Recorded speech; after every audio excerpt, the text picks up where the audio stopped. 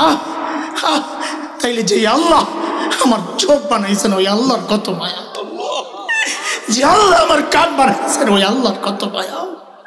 যে আল্লাহ আমার হাত পাও বানাইছেন, ওই আল্লাহর কত মায়া। যে আল্লাহ আমাকে এত এত নিয়ামত দিয়ে বাঁচায় রাখছেন, ওই আল্লাহর কত মায়া। আরে মায়াটা বুঝেন না? ভাবেন কোনোদিন? মায়া বুঝেন, ভাবেন। আমি আপনি যখন দরজা জানলা আটকায়া ভেতরে গুণা করি, ভেতরে গুণা চলছে, ভেতরে গুণা চলছে, ওই গুণা অবস্থায় আমার মালিক দরজার নিচে দিয়া বাতাস আর অক্সিজেন পাঠাইয়া দেন যেন আমি মইরা না যাই। এবার ওই ডাক্তার ওজন বুঝে। আল্লাহ যে পেছন থেকে ডাকতে থাকেন। আমি আপনি যখন গুণা করি আল্লাহ ডাকতে থাকেন কি বলে? ইয়া আইয়ুহাল ইনসান মা গররাকা বিরাব্বিকাল কারীম। আই বান্দা ওই করিম রবের ব্যাপারে তোরে কে ধোকায় ফেলছে? মানে কি? আরে তুই যে চোখ দিয়ে ওই নায়ক, নায়িকা দেখতেছ ওই চোখ তো আরে, ওরা তোরে দেয় নাই। এটা আমি করিম রব দিছি, তুই চাস নাই। আমি মায়া করে দিছি। আমার মায়া করে দেওয়াই নিয়ামত। তুই আমার বিরুদ্ধে লাগাইতেছস। যে কাম দিয়ে তুই গুনাহ করতেছস, ওই কাম তো তোর ওই গায়ক, গায়িকা দেয় নাই। আমি আল্লাহ দিছি, যে জবানে তুই আমার নাফরমানির কথা বলস, ওই জবান তোর নেতা নেত্রী দেয় নাই। আমি আল্লাহ দিছি। আরে যে হাত দিয়ে আমার বিরুদ্ধে লেখস ওই হাত তোর নেতা দেয় নাই, তোর সরকার দেয় নাই, তোর অফিস দেয় নাই, তোর নেতা দেয় নাই, তোর মালিক দেয় নাই। ওই হাত তো আমি আল্লাহ দিছি, আমার দেওয়া আমার দেওয়া অঙ্গ দিয়া তুই আমার বিরুদ্ধেই লেখছস, আমার বিরুদ্ধেই বলছস, আমার বিরুদ্ধে কথা শুনছস, আমার বিরুদ্ধে আমি যা নিষেধ করেছি তা দেখছস। কেন রে বান্দা? কি পাইয়া তুই আমারই ভুলে গেলি? ইয়া মাশারাল জিন্নি ওয়াল ইনস إن استطعتم أن تنفذوا من أقطار السماوات والأرض فانفذوا لا تنفذون إلا بسلطان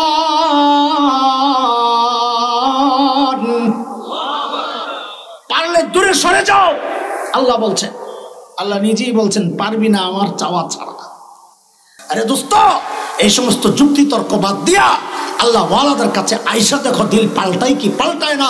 আমাদেরটা পাল্টায় বলি এভাবে বলছি, নিশ্চিত করে বলছি, একজন মানুষ গুণামুক্ত জীবন গড়ার জন্যে একজন আল্লাহ ওয়ালার সাথে যদি সম্পর্ক রাখে, নেককারদের সাথে যদি সম্পর্ক রাখে, তার জন্য যতটা গুণা ছাড়া সহজ হয়। একা একা কোরআন হাদিস পড়া পড়া গুণামুক্ত জীবন যাপন করা অতটা সহজ না।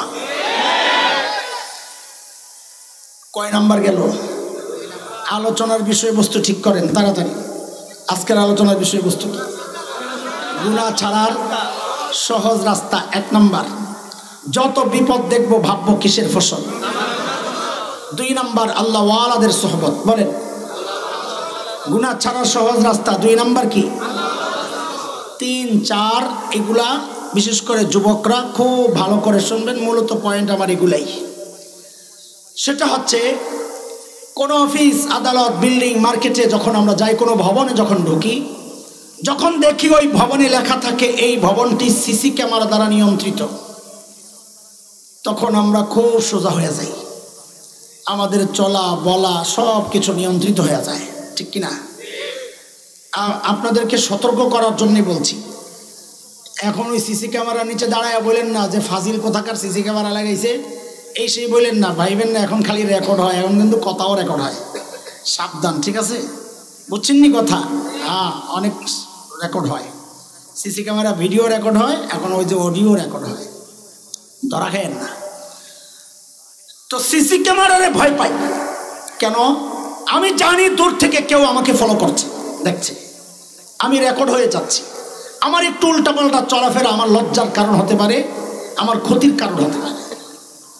দোস্ত, গুনাহ করার সময় খালি এই চিন্তাটা যদি দিল আর দেমাগের মধ্যে বসানো যায়, গুনাহ ছেড়ে দেওয়া সহজ হবে, সেটা হচ্ছে আমাকে আল্লাহ তাআলা পাহারা দেওয়ার জন্যে আমার চারদিকে একটা, দুইটা না, আটটা আটটা সিসি ক্যামেরা ফিট করে রাখছে। কয়টা? বলেন কয়টা? আমি বোঝানোর জন্য বলেছি সিসি ক্যামেরা। কোরআন, সুন্নার ভাষা শব্দ হচ্ছে সাক্ষী। কি? তাহলে এবার বলেন আল্লাহ কয় সাক্ষী রাখছেন আমার চারপাশে কয়টা বলেন কয়টা এক নাম্বার বাতাস দিলে আমার মনোযোগ নষ্ট হয় কষ্ট হোক মনোযোগ নষ্ট করা যাবে না নম্বর মালিক বলেন يومئذ تحدث أخبارها بأن ربك أوحى لها জমিন আল্লাহর আদালতে সাক্ষী দিবে আল্লাহ আমার উপর দাঁড়ায়া দাঁড়ায়া গুণা করছে, আমি সাক্ষী। কে সাক্ষী? কে সাক্ষী? জমিন। কে? এক নম্বর সাক্ষী কে? জমিনকে সাক্ষী না বানাতে চাইলে রাস্তা দুইটা। কয় রাস্তা? এক নম্বর রাস্তা হচ্ছে জমিন ছেড়ে দূরে কোথাও চলে যাও। সম্ভব? ইয়া মাশারাল জিন্নি ওয়াল ইনস إن استطعتم أن تنفذوا من أقطار السماوات والأرض فانفذوا لا تنفذون إلا بسلطان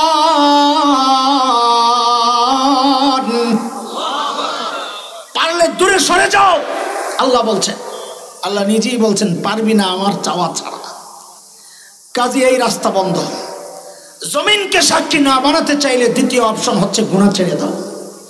কি গুণা করলে যেই জায়গায় দাঁড়ায় গুণা করব, এই জায়গা কিন্তু আল্লাহর আদালতে সাক্ষী দিবে। আল্লাহ, আমি সাক্ষী আমার উপর দাঁড়ায় দাঁড়ায় আপনার বান্দা গুণা করছে। দোস্ত, কথাগুলো দিল আর দামাগের মধ্যে বসান। দেখবেন ওই সাক্ষীগুলো গুণা করার সময় আপনার সাথে কথা বলবে, আয়, আমি কিন্তু সাক্ষী। দুই নম্বর সাক্ষী, তিন নম্বর সাক্ষী, কোরআনের সিরিয়াল হচ্ছে আগে হাত। পরে পা আমি মনে রাখার জন্যে নিচ থেকে উঠবো তো এই জন্য আগে পায়ের কথা বলছি দুই নম্বর সাক্ষী কি বলেন পা তিন নম্বর বলেন না সুরা ইয়াসিনের মধ্যে আসছে আল্লাহ বলেন اليوم نختم على أفواههم وتكلمنا أيديهم وتشهد أرجلهم بما كانوا يكسبون আল্লাহর আদালতে পা সাক্ষী দিবে পা আল্লাহ এই পা দিয়ে হেঁটে হেঁটে আমি যাই গুনাহ করছি আল্লাহ আমি সাক্ষী তিন নাম্বার হাত সাক্ষী দিবে আল্লাহ এই হাত দিয়ে আমি গুনাহ করছি আমি সাক্ষী কয় সাক্ষী গেল বলেন কয় সাক্ষী এক নাম্বার এক নাম্বার জমিন বলেন এক নাম্বার দুই পা তিন চার নম্বর, কান বলে পাঁচ নম্বর, চোখ, বলেন। ছয় নম্বর, চামড়া, বলেন। চার নম্বর, কান কান, বলেন, কান। পাঁচ নম্বর, ছয় নম্বর সুরাহামি হামিম আল্লাহ বলছেন, বিশ নম্বর আয়াত। হাত্তা ইজা شهد عليهم سمعهم وأبصارهم وجلودهم بما كانوا يعملون কান সাক্ষী দিবে কান চোখ সাক্ষী দিবে চোখ চামড়াও সাক্ষী দিবে দোস্ত হেডফোন লাগায় গান শোনো না আর ভাবো দুনিয়ার কেউ শুনে না আল্লাহ যেন আমাকে তোমাকে জবাব দিচ্ছেন, বান্দা। কেউ না শোনার দরকার নাই। যে কান দিয়ে তুই গুনাহ করতেছস, ওই কানই তো আমার কাছে তোর বিরুদ্ধে সাক্ষী দিবে। পাঁচ নম্বর সাক্ষী চোখ। অন্ধকার ঘরে একা একা বসে বসে সিনেমা দেখছ, যুবক। ভাবছ কেউ দেখে না। আল্লাহ যেন আমাকে তোমাকে জবাব দিচ্ছেন, কারও দেখার দরকার নাই, বান্দা। যে চোখ দিয়ে তুই গুণা করছিস, ওই চোখ তোর বিরুদ্ধে সাক্ষী দিবে। কয়টা গেল? ছয় নাম্বার,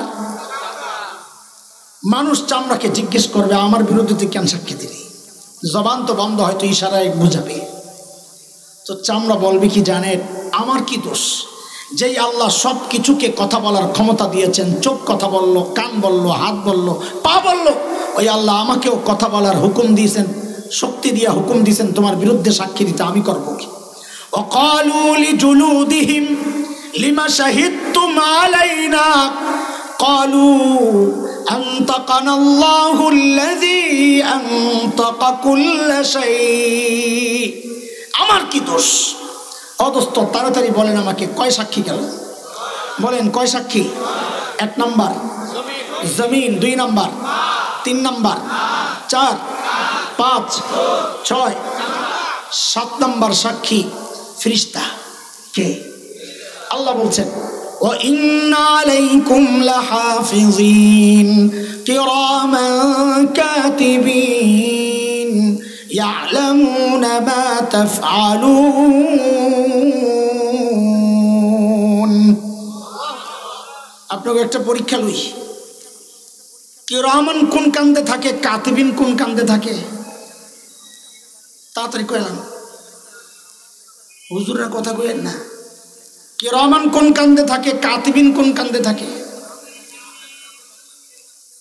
কি রহমান ডান কান্দে, কাতিবিন বাম কান্দে। আপনারা এটা বলেন দেখে আমাদের এই মাঝখান দিয়ে কথাটা বইলা নিতে হয়। আমরা অনেক কিছুই জানি এরকম অশুদ্ধ জিনিস। অদস্ত কিরামান কাতিবিন কোনো ফিরিস্তার নাম না। কিরামান মানে সম্মানিত, যে আপনারা বলেন ওলামায় কেরাম ওই কেরাম এটা। সম্মানী আলেমরা।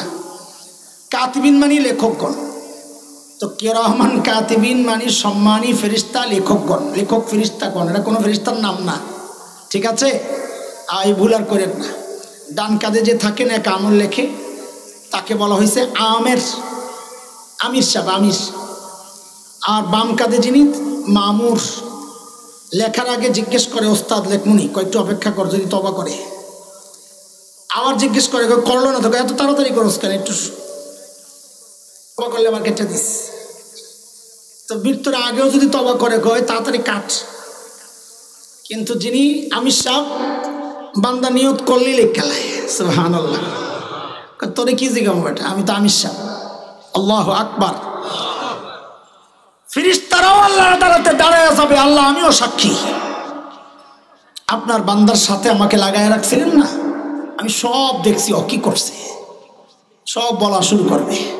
ইয়ালামুন আমা তাফালুন। আল্লাহ বলেন, ফিরিস্তারা সব জানে তুমি কি করতেছ। কয় সাক্ষী গেল? বলেন সাক্ষীগুলো এক নাম্বার। দুই, তিন, চার, পাঁচ, ছয়, সাত মাসা আট নম্বর হচ্ছে প্রত্যেকের আমল নামা। আট নম্বর সাক্ষীর নাম কি? এটা হচ্ছে আসল সাক্ষী। দেখেন আপনারা আপত্তি করেন না। আসল সাক্ষীটা আমার কথা। এটা কোরআন সুন্নার কোনো কথা না। আমি বলছি। কেন বলছি?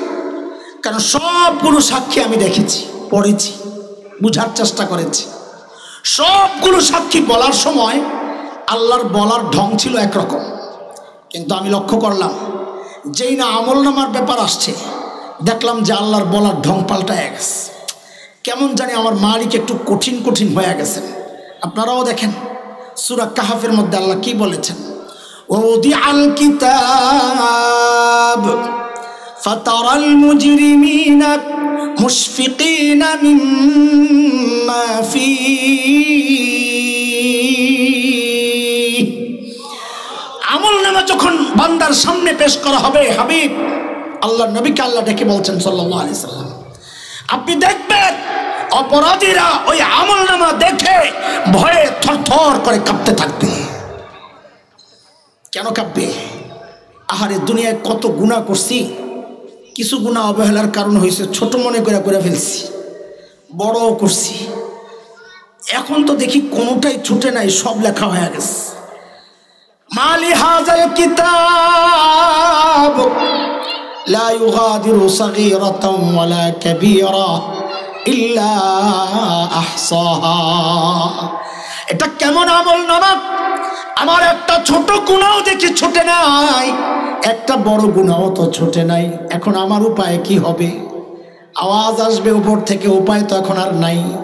যখন ছিল তখন তো উপায় গ্রহণ করো নাই। এখন বাম হাতটা দেও আমল নামা গ্রহণ কর। বাম হাত পাতবে বলে, এমনি না। বলে, কেমনি? বলে, পেছন দিয়া নিয়ে কলিজা ছিদ্র কইরা তারপরে পাত। বলে, যেই না কলিজা ছিদ্র করে বাম হাতটা পাতবে, সুরা হাক্কর মধ্যে বিস্তারিত আল্লাহ বলেছেন ও আম্মা মান উতিয়া কিতাবাহু বিশিমালি, ফায়াকুলু ইয়া লাইতানি লাম উতা কিতাবিয়া। ولم أدر ما حسابيه ইয়া লাইতাহা কানাতিল কাদিয়া মা আগনা আন্নি মালিয়া হালাকা আন্নি সুলতানিয়া বাম হাতে আমল নামা দেওয়ার সাথে সাথেই দিবে চিৎকার কি বলে ইয়া লাইতানি লাম উতা কিতাবিয়া আহারে আমল নামা যদি আমারে না দেওয়া হইতো ওলাম আদ্রি মা হিসাবিয়া। আমি জানি না আমার হিসাব কি হবে। আরে দোস্ত, হিসাব নিয়ে আমাদের তো কোনো টেনশন নাই। অথচ আল্লাহর নবীর সবচাইতে প্রিয় দুইজন মানুষ। নবী আলহি সালামকে জিজ্ঞেস করা হয়েছে, ইয়া রসুল আল্লাহ আপনার কাছে সবচেয়ে প্রিয় মানুষ কে? তো নবী বলেছেন আয়সা কে? এদিকে তাকান, কে? বলে আয়সা তো মেয়েদের মধ্যে, পুরুষের মধ্যে সবচেয়ে প্রিয় কে? তো নবী বলেছেন, আবুহা তার বাবা আবু বকর দুইজনের ব্যাপারে নবী জান্নাতের সুসংবাদ দিয়েছেন। আবু বকর ফিল জান্না, আয়েশা ফিল জান্না। জান্নাতের সুসংবাদ পাওয়া আল্লাহর নবীর শ্রেষ্ঠ, সবচাইতে ভালোবাসার দুইজন মানুষ। আল্লাহর আদালতে দাঁড়াইতে হবে, ওই ভয়ে কি করতেন? আরে, হিসাব দেওয়ার ভয়ে আম্মা যান কি করতেন? অথচ তারা তো বিনা হিসাবেই জান্নাতে যাবে, কোনো সন্দেহ নাই। অথচ আম্মা যান কানতেন কানতেন আর বলতেন, ইয়া লাইতানি কুনতু নাসিয়াম মানসিয়া। আহ, আমি যদি নিঃশেষ হয়ে যাইতাম, আমি যদি নাই হয়ে যাইতাম, এখন আল্লাহর আদালতে কেমনি দাঁড়াবো? বাবা আবু বকর তো আরও আগায়া, একা একা দূরে, নির্জনে চলে যেতেন, চিৎকার করে করে নিজেকে ধিক্কার দিয়ে দিয়ে বলতেন আপনা আবি কোহাফা। এরে আবু কোহাফার বেটা, তুই মানুষ কেন হইছস রে? নিজের জিপটারে টাইনা ধরতেন আর বলতেন, সব নষ্টের বিপদের মূল তুই। গাছের দিকে তাকায় তাকায় আবু বকর কানতেন আর কি বলতেন, ইয়া লাইতানি কুনতু ওয়ারাকা মিনাস সাজারা তো দাদওয়াতু কাল। হায়, আমি মানুষ না হইয়া যদি গাছের পাতা হইতাম, তো জীবজন্তু আমার চাবায়া চাবায়া খায়া ফেলতো, আমার আর হিসাব দেওয়া লাগতো না। আবু তো জান্নাতের গ্যারান্টি আম্মা জানতো জান্নাতের গ্যারান্টি পাওয়া। এমন চিন্তা তো করার কথা ছিল আমার মতো জালিমের। অথচ আমি তো বটেই। অধিকাংশের চেহারার দিকে তাকাইলে মনে হয় না মানুষটার আখেরাতের কোনো ফিকির আছে। কেন রে ভাই? কোন পুঁজির ভরসা এমন নিশ্চিন্ত জীবন যাপন করছি বলে? আম্মা জানতো গ্যারান্টি পাওয়া, জান্নাতের গ্যারান্টি পাওয়া। আবু বকর তো জান্নাতের গ্যারান্টি পাওয়া। আমাকে আপনাকে কে গ্যারান্টি দিল যে আমাদের মৃত্যুর যন্ত্রণা হবে না? আমাকে আপনাকে কে গ্যারান্টি দিল যে আমাদের কবরের আজাব হবে না? কোন গ্যারান্টি পাই এমন নিশ্চিন্ত জীবন যাপন করছি? সেদিন আমল নামা পাইয়াই বান্দা কানতে থাকবে আর বলতে থাকবে ইয়ালাই তাহা কানাতিল কাদিয়া। আহারে, মৃত্যু পর্যন্তই যদি সব শেষ হয়ে যাইত, যদি হিসাবের জন্য দাঁড়াইতে না হইত। ও দুনিয়ার টাকাওয়ালা, আজকে টাকার কারণে টাকার দাপটে বিচার পাল্টাও। সেদিন চিৎকার করে করে কানতে হবে আর বলতে হবে, মা আগনানি মালিয়া, আমার মাল তো আমারে বাঁচাইতে পারতেছে না। আজকে ক্ষমতার দাপটে বিচার পাল্টাও। সেদিন চিৎকার করে করে কানতে হবে আর বলতে হবে আমার ক্ষমতাও তো শেষ হয়ে গেছে, এখন আমার কে বাঁচাবে? আওয়াজ আসবে উপর থেকে আল্লাহ আজাবের ফিরিস্তাদেরকে বলবে এখন আর চিৎকার, চেঁচামেচির কোনো সুযোগ নাই। হুজুক ফাগুল্লু সুম্মাল জাহিম সল্লু। এগুলারে ধর, বেড়ি পড়া তাই না হেসরাই আনিয়া জাহান্নামে নিয়া ফালা। ثم في سلسلة زرعها سبعون ذراعا فاسلكوه সত্তর গজ লম্বা শেকল দিয়া পেঁচা টাইনা লয়া যা হজরত আব্দুল ইবনে আব্বাস বর্ণনা করেছেন ওই শেকল দিয়া কেমনে পেঁচাবে শেকল দিয়া কেমনে পেঁচাবে হজরত আব্দুল ইবনে আব্বাস বলেন শেকলের মাথাটা নাকের ছিদ্র দিয়া ঢুকাইয়া পায়খানার রাস্তা দিয়া বের করে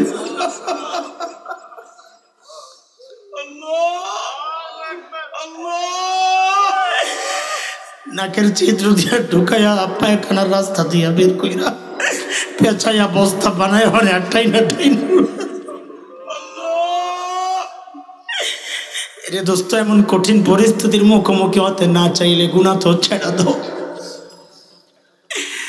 আয় আল্লাহ হেফাজত করেন দোস্ত। কয় সাক্ষী গেল বলেন? কয় সাক্ষী? বলেন, এক নাম্বার। দুই তিন, চার, পাঁচ, ছয়, সাত, আট, আমল নামা মাশা আল্লাহ আমাদের আলোচনার বিষয়বস্তু জানি কি ছিল? গুণা ছাড়ার সহজ রাস্তা।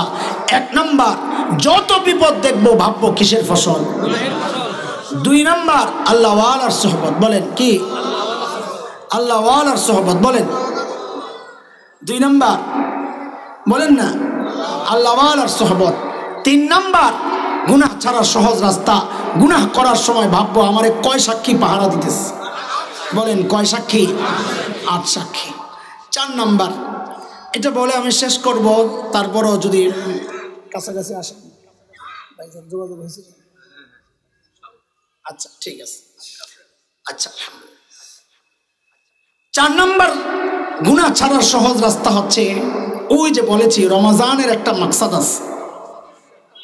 আল্লাহ বলেছেন না? ইয়া কুতিবা কুতিবা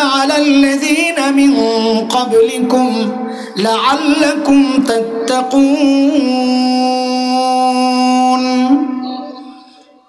আল্লাহ কি বলছেন? বান্দা, আমি তোমার উপর রোজা ফরজ করেছি। কেন? যেন তুমি মুত্তাকি হয়ে যাও। যেন তোমার গুণা ছাড়ার অভ্যাস তৈরি হয়। মনোযোগ আছে আপনাদের? আচ্ছা শুনেন। রোজা রাখলে গুণা ছাড়ার অভ্যাস কেমনে তৈরি হয়?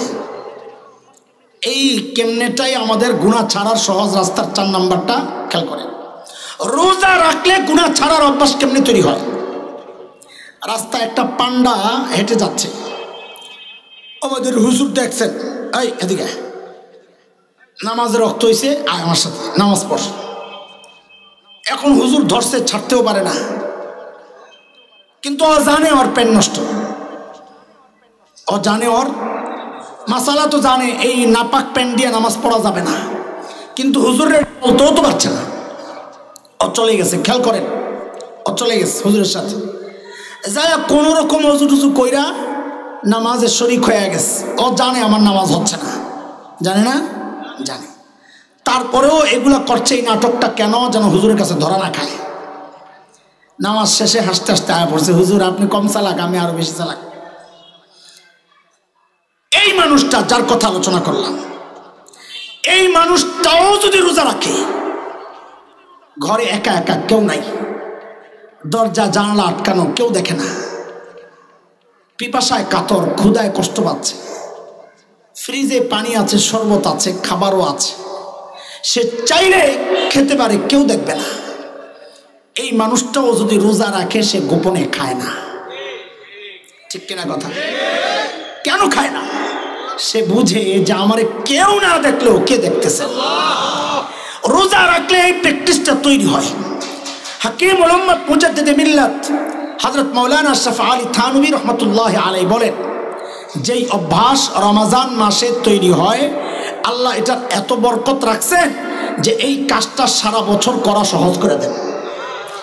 যে বান্দার এই অভ্যাস তৈরি হয়, আমারে কেউ দেখছে না, আল্লাহ দেখছে। সে গুণা করতে পারে না। প্রমাণ হচ্ছে রোজা। একজন অপরাধীও গোপনে খায় না। কোন অনুভূতির কারণে যে আমার কেউ না দেখলেও কে দেখতেছে? তো এই জন্যে আমাদের বড়রা গুণা ছাড়ার জন্য চতুর্থ আরেকটা রাস্তা আমাদের সামনে রেখেছেন। বলে তিনটা বিষয় তুমি দিল আর দেমাগের মধ্যে বসাও। খেয়াল করেন, কয় বিষয়? কয় বিষয়? এক নম্বর শুনে এই তিন বিষয় বুঝার আগে আরেকটা জিনিস বুঝেন। মানুষ গুণা করে দুইটা বিষয় তাকে উৎসাহিত করে। কয় বিষয়? এক হচ্ছে সে যখন একা একই হন। একা একা হইলে সে ভাবে, আমি তো একা। আরেকটা হচ্ছে সে ভাবে আমার কেউ দেখে না। দুইটারই জবাব আল্লাহ দিয়েছেন, তুই একা না অহুয়া মা আকুম আইনা মা কুন্তু তুই যেখানে আসুস, আমি আল্লাহ আছি। কেউ দেখে না, এর জবাব আল্লাহ দিয়েছেন, আলম ইয়া আলম বি আন্নাল্লাহ ইয়ারা? সে জানে না, আমি তাকায় আছি। ও দোস্ত, গুনাহ করার সময় তিনটা বিষয় মাথায় ঢুকানো, দিল আর দেমাগের মধ্যে বসানো। এক নম্বর বলেন আমার সাথে, আমাকে আমার মালিক দেখতেছেন। ঠিক না আমি যা বলি তা বলেন। বলেন এক নাম্বার কি? চতুর্থ গুণা ছাড়া সহজ রাস্তা হচ্ছে এই তিন কথা দিল দেমাগের মধ্যে বসানো। যে এক এক নম্বর তিন কথার এক নম্বর আমাকে কে দেখতেছেন? আমার মালিক দেখতেছেন। মায়ার সাথে বলেন শব্দটা আমাকে কে দেখতেছেন? আরে আল্লাহ তো আমি বলতে পারতাম। কে দেখতেছেন? আপনি মনে মনে ভাবতেছেন হুজুর ঘুরাইয়া বলার দরকার কি? ডাইরেক্ট আল্লাহ বললে কি সমস্যা? কোনো সমস্যা নাই। মালিক বলার মধ্যে একটা মতলব আছে।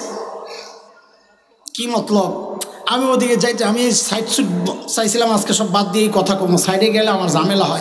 সুরে ফাতেহায় পড়েন না আপনারা মালিক ইয়ে অমিত দিন পড়েন? পড়েন? অর্থ কি বলতো? উত্তর তো সঠিক দিছেন। কি দিবসের মালিক? অনেকে বলে ফেলে কেমন দিবসের মালিক। না, বলেন, কিসের মালিক? বিচার দিবসের মালিক।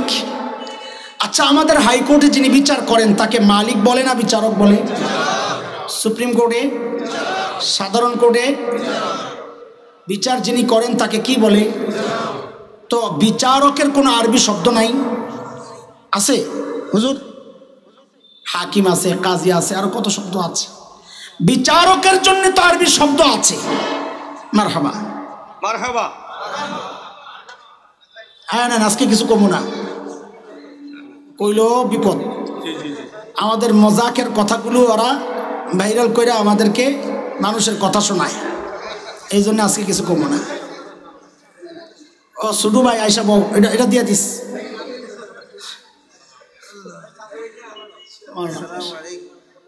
লাফায় লাফায় আইসেন এখন রেস্ট নেন। কোথাও যাবেন নি আর? আমার এতক্ষণ বসায় রাখছে আমি তো আগাইতে চাই না এখন ঢুকছি শেষ না করে কই যাব? খেয়াল করেন। বিচার দিবসের, বলেন না, যিনি বিচার করেন তাকে কি বলে? বিচারক বলে না মালিক বলে? তো আরবিতে বিচারকের কোনো শব্দ নাই? কথা বলে না। তা আল্লাহ বিচারক নিজেকে না বইলা মালিক কেন বললেন প্রশ্নটা বুঝে আসছেনি আপনাদের। বলে, মালিক বলার কারণ আছে। মহাকিকিনরা বলেন, বিচারক আর মালিকের মধ্যে পার্থক্য আছে। কি পার্থক্য? বলে, বিচারক বিচার করেন সংবিধান অনুযায়ী। এর বাহিরে যাওয়ার কোনো সুযোগ নাই। আদালতে যারা বিচার করেন, সংবিধানের বাহিরে যায় বিচার করার কোনো সুযোগ এই টুপিটার মালিক আমি। আমি যদি টুপিটা কাউকে ফ্রিতে দিয়ে দেই, কারও কিছু বলার আছে? কেন নাই আমি মালিক? আমি যদি টুপিটা কারও কাছে দশ টাকায় বিক্রি করি, কারও কিছু বলার আছে? কেন নাই আমি মালিক? আমি যদি ফালাইয়া দিই, কাউরে না দিয়া, কারও কিছু বলার আছে? কেন নাই? আমি মালিক। মালিকের কোনো সংবিধান, নিয়ম? আমার যা ইচ্ছা আমি তা করব। তোর কি? আল্লাহ তালা নিজেকে বিচার দিবসের বিচারক না বলে মালিক কেন বললেন তা আমাদের বড়রা বলেন, আরে, এটা আমার জন্য অনেক বড় একটা আশার অবস্থা, রাস্তা খুলছেন আল্লাহ তালা আল্লাহ যেন বলতে চান, বান্দারে তুই নামাজ পড়স নাই। আমি যদি বিচারক হইতাম সিস্টেম মতো বিচার করে তোর জাহান নামে পাঠাইয়া দিতাম। তুই রোজা রাখস নাই। আমি যদি বিচারক হইতাম সিস্টেম মেনে তোকে জাহান নামে পাঠাইয়া দিতাম। কিন্তু আমি তো আজকে বিচারক না। আমি মালিক, বিচার দিবসের মালিক। মালিকের কোনো সিস্টেম চলে না। তুই আজীবন গুনাহ করছস। আমি চাইলে সব মাফ করে তোর জান্নাত দিয়ে দিতে পারি। বুঝে আসছিনি কথা? ওই জন্যে বারবার ওইটা বলাইতেছি। বলেন, আমাদেরকে কে দেখতেছেন আবারও কয় আল্লাহ। আরে মালিক, বলার মধ্যে আল্লাহর কাছে একটা চাওয়া আছে গোপনে, সেটা হইল আল্লাহ। আপনি তো আল্লাহ, ঠিকই আছে, আল্লাহর জাতের নাম। মালিক বলার মধ্যে আলাদা একটা চাওয়া আছে যে আপনি তো আপনি তো মালিক, আমি তো অপরাধী। সিস্টেমে ফালাইয়া দিলে আমি শেষ হয়ে যাব। কিন্তু আপনি তো সিস্টেমের ধার ধারে না। আপনি চাইলে আমার ওই সব গুণাবাদ দিয়ে আমার জান্নাত দিয়ে দিতে পারেন। মালিক বলার মধ্যে একটা ভিতরের রহস্য তো আছে। ওই রহস্য বুঝেই বল ডাক দিতে হবে, বলেন, কি বলতে হবে? তো কয় কথা দিল আর দেমাগের মধ্যে বসাইতে হবে? তিন কথা, খেয়াল করেন। এক নম্বর, বসাইতে হবে, আমাকে কেউ না দেখলেও কে দেখতেছেন? আমার মালিক দেখতেছেন মাশা আল্লাহ দিল থেকে বলেন, কে দেখতেছেন? মালিক শুধু দেখেন না, আমি আপনি যখন গুনাহ করি, মালিক পেছন থেকে ডাকতে থাকেন। কি করতে থাকেন? কি বলে ডাকেন? কোরআনুল করিমের সুরা ইনফিতরের মধ্যে আল্লাহ এটাও জানাইয়া দিছেন কি বলে ডাকেন? ইয়া আইয়ুহাল ইনসান মা গর্রাকা বিরব্বিকাল কারীম ও মানুষ, ওই করিম রবের ব্যাপারে তোমাকে কে ধোকায় ফেলল? দোস্ত, এই ডাক্তার ওজন কত? এটা বুঝতে হলে ক্যারিমের অর্থ বোঝা লাগবে। ক্যারিমের অর্থ না বুঝলে এই ডাকের ওজন বোঝা যাবে না। ক্যারিম কাকে বলে? ক্যারিম কাকে বলে? আরবিতে ক্যারিম বলে ওই দাতাকে যিনি না চাইতেই দেন। এবার একটু বুঝে শুনে বলেন, আমার এই চোখটা চায়া পাইছি না না চায়া? কাম চায়া পাইছি না না চায়া? জিব্বাটা চায়া পাইছি না না চায়া? একবারে বলে ফেলেন, শরীরের কোন অঙ্গটা চট্টগ্রাম ঢাকা হাইওয়ে রোড অবরোধ কইরা আন্দোলন কইরা আল্লাহর কাছ থেকে চাইয়া লইছি? কথা কর একটাও না, সব আল্লাহ না চাইতেই দিছেন। যেই দাতা, যেই জাত না চাইতেই দেন, তাকে কি বলে? মালিক বলে। আল্লাহ বলছেন, বান্দারে করিম বলে। মালিক না, কি বলে? করিম বলে। আল্লাহ বলছেন, ওরে বান্দা, ওই করিম রবের ব্যাপারে তোরে কে ধোকায় ফেলল? এই কথার ওজনটা বোঝার জন্য একটা উদাহরণ বুঝেন।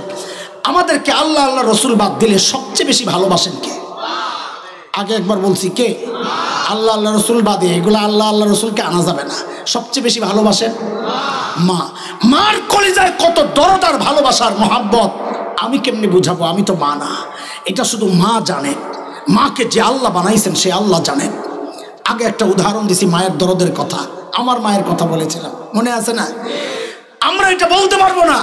তবে কোরআন সুন্না পড়ে মাস আলা শিখে যেটা জেনেছি, অনুমান করতে পারি, মার দরদ কত? যেমন একটা মাস আল আপনাদেরকে শোনাই। একটা মাস আলা তো এমন, কোনো সন্তান যদি বাবা মার আগে ইন্তেকাল করে, তো বাবা তো সন্তানের লাশের পেছনে পেছনে যেতে পারেন। বাবা তো সন্তানের কবরেও নামতে পারেন। বলে, কেন বাবার কলিজায় কি দরদ, মায়া নাই, ভালোবাসা নাই? বলে, আছে। বাবাও চিৎকার করে করে কানবেন।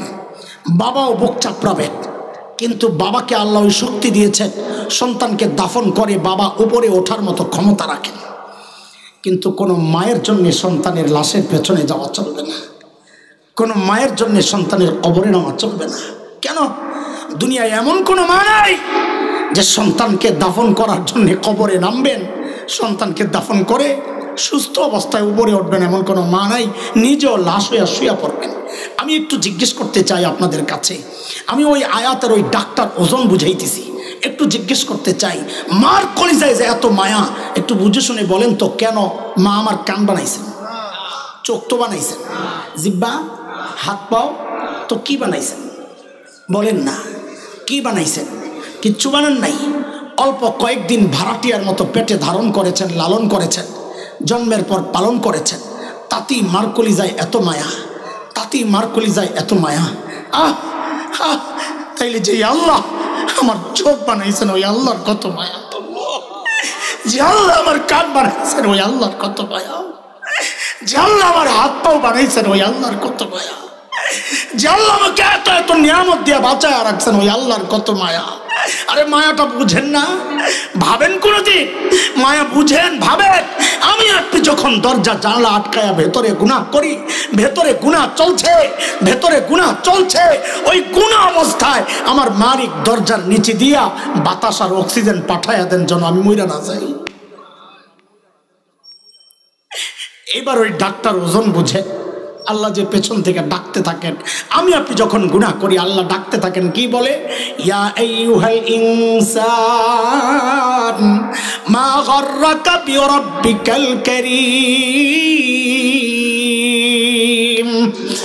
আই বান্দা! ওই করিম রবের ব্যাপারে তোরে কে ধোকায় ফেলছে? মানে কি? আরে তুই যে চোখ দিয়ে ওই নায়ক, নায়িকা দেখতেছ ওই চোখ তো আরে, ওরা তোরে দেয় নাই। এটা আমি করিম রব দিছি, তুই চাস নাই। আমি মায়া করে দিছি। আমার মায়া করা দেওয়াই নিয়ামত, তুই আমার বিরুদ্ধে লাগাইতেছস। যে কান দিয়ে তুই গুনাহ করতেছস, ওই কান তো তোর ওই গায়ক, গায়িকা দেয় নাই। আমি আল্লাহ দিছি যে জবানে তুই আমার নাফরমানির কথা বলস, ওই জবান তোর নেতা নেত্রী দেয় নাই। আমি আল্লাহ দিছি। আরে যে হাত দিয়ে আমার বিরুদ্ধে লেখস ওই হাত তোর নেতা দেয় নাই, তোর সরকার দেয় নাই, তোর অফিস দেয় নাই, তোর নেতা দেয় নাই, তোর মালিক দেয় নাই। ওই হাত তো আমি আল্লাহ দিছি, আমার দেওয়া আমার দেওয়া অঙ্গ দিয়া তুই আমার বিরুদ্ধেই লেখছস, আমার বিরুদ্ধেই বলছস, আমার বিরুদ্ধে কথা শুনছস, আমার বিরুদ্ধে আমি যা নিষেধ করেছি তা দেখছস। কেন রে বান্দা? কি পায়া তুই আমারই ভুলে গেলি? কি পায়া তুই আমারই ভুলে গেলি? বলে আল্লাহ কারিম তো ওই সত্তাকে বলে, যিনি না চাইতে দেন, আপনি আমার কি কি দিছেন? তা আল্লাহ যেন জবাব দিচ্ছেন আরে জালিম তোর চেহারার দিকে তাকায় দেখ তোর কি দিস সব জায়গায় তাকানোর দরকার নাই তুই খালি তোর চেহারার দিকে তাকায় দেখ الذي خلقك فسواك فعدلك في أي صورة ما شاء ركبك তোর মতো সুন্দর করে আমি কাউরে বানাই নাই আর দেখ দেখ তোর চোখের মধ্যে কি সুন্দর ঝাড়ু লাগাইয়া দিস ময়লা পরে আমি ভেতর থেকে পানি বের করে ঝাড়ু দিয়ে পরিষ্কার করে দিই আর তুই যখন ঘুমায় যাস, তোর চোখগুলো অনিরাপদ হয়ে যায়। আমি আল্লাহ নিজ দায়িত্ব উপর দিয়ে একটা শাটার লাগাইয়া দেয় ওনারে নিরাপদ দিয়ে দিই। নিরাপদ বানাইয়া দিই। আর ওই চোখ দিয়ে তুই ঘুম দিয়ে উঠাই আমার বিরুদ্ধে? কেন করো সেটা আল্লাহ ডাকতে থাকেন। দোস্ত তিনটা জিনিস দিলার দামাগের মধ্যে বসান। এক নম্বর, আমারে কে দেখতেছে? আলম ইয়ালাম বি তাকায় আছি। কি তাকায় আছেন? অমনোযোগিতার সাথে হ্যাঁ? অবহেলার সাথে দেখছি, দেখি না এরকম। না না, নবীকে আল্লাহ ডেকে বলছেন অসবির হকমে রব্বিক, ফাইন্নাকা বি আয়ুনিনা আর আমি সরাসরি তাকায় আছি।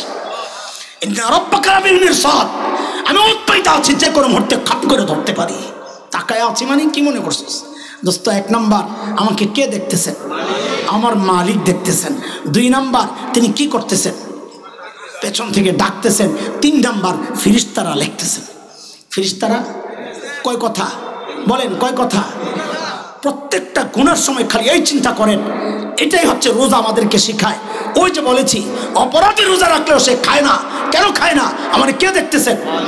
এই প্র্যাকটিসটা যার হয়, আল্লাহ বলেন, এই জন্যে আমি রোজা ফরজ করছি। তুই এই প্র্যাকটিস করতে থাক, এই প্র্যাকটিস করতে থাক, সারা বছর তুই গুণামুক্ত থাকা তোর জন্য সহজ হয়ে যাবে।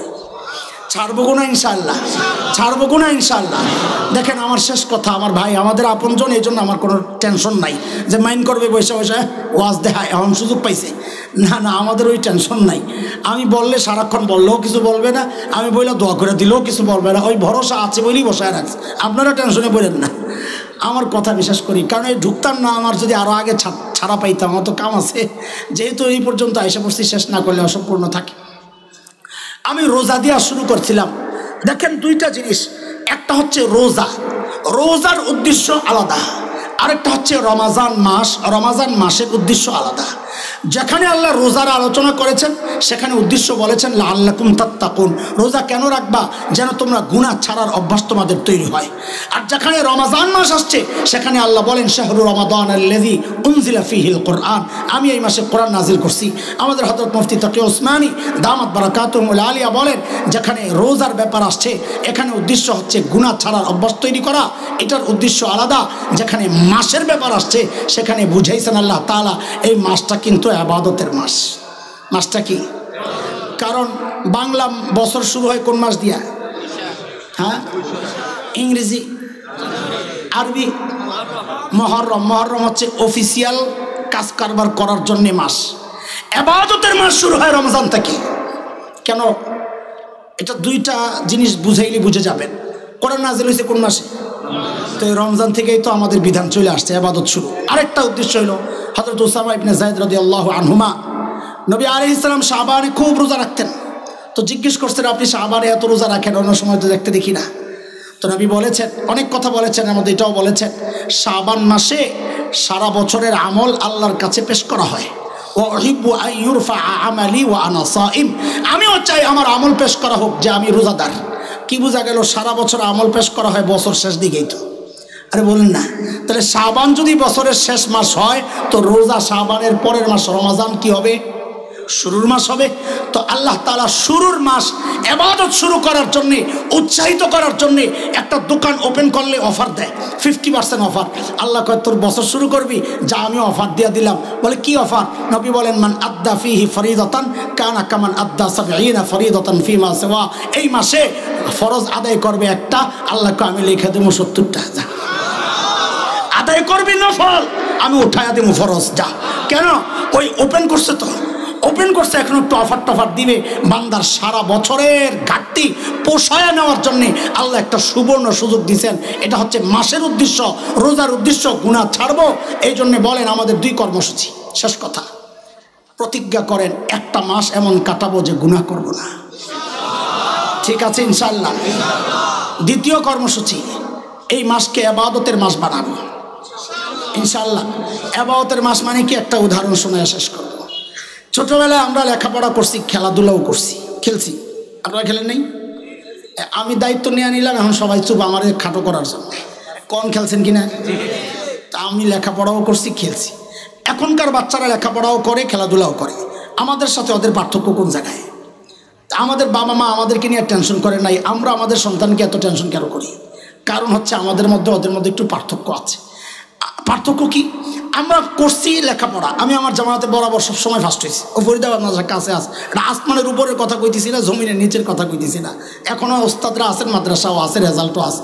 আমি আমার জামাতে বরাবর ফার্স্ট হয়েছি। খেলাধুলাও করছি। পার্থক্য কি? আমরা লেখাপড়া করছি, ফাঁকে ফাঁকে খেলাধুলা করছি। আর এখনকার বাচ্চারা চায় খেলাধুলা করবে, ফাঁকে ফাঁকে পড়বে। ঠিক সাহাবায় কালামের সাথে আমাদের পার্থক্যটা এটাই। সাহাবায় কালাম দুনিয়ার কাজও করছেন, আখেরাতের কাজও করছেন। আমরাও দুনিয়ার কাজ করি, আখেরাতের কাজও করি। পার্থক্য কি?